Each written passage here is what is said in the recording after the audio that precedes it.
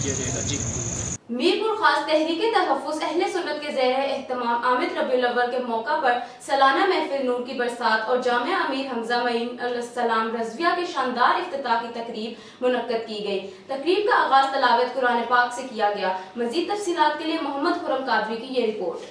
जी, मीरपुर खास तहरीक तहफ़ सुन्नत के जैर अहतमाम आमद रबी अव्वल के मौके पर सालाना महफिल नूर की बरसात और जामिया अमीर हमज़ा मोइनुलइस्लाम रजविया के शानदार अफ्ताह की तकरीब मुनद की गई।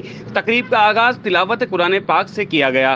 तिलावत कुरान पाक कारी साकिबुररहमान ने पेश की और नात रसूल मकबूल सल्लल्लाहु अलैहि वसल्लम, फैज़ान आसिफ कादरी और बैन अवी शहरत याफ्ता उस्ताद सनाख्वा अलीमुद्दीन अलीम, इश्तियाक अली कादरी और दीगर सनाख्वा ने अपने मुनफरद अंदाज में। अकीदत पेश की। और खसूस खिताब सरमाया अल सुन्नत हज़रत अलामा मौलाना अक्रम सईदी ने खिताब पेश किया। और जामिया अमीर हमज़ा मोइनुलइस्लाम रजविया का शानदार अफ्ताह साहिबजादा हाफिज़ मंजूर अली बाचा अलामा मोहम्मद अक्रम सईदी और हाफिज़ महमूद अहमद कादरी इस मौके पर पीरान उज़ाम मुफ्तियान कराम और अहल सुन्नत और वकला सहाफ़ी समाजी सोशल वर्कर दीनी फलाही शख्सियात और बेशुमार आशिकान रसूल ने शिरकत की। तकरीब का अख्ताम पर लंगर का अहतमाम किया गया और तहरीक तहफ़ सुन्नत के सरबरा शाकिर हुसैन। शाकिर ने तमाम आने वाले मेहमानों का शुक्रिया अदा किया।